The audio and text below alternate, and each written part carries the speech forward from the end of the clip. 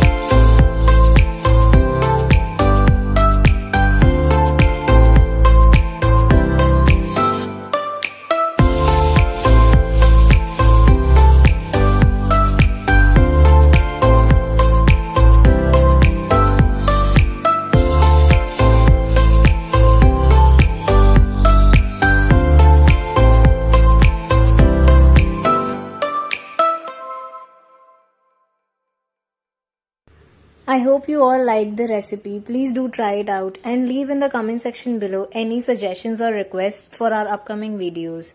Thank you so much.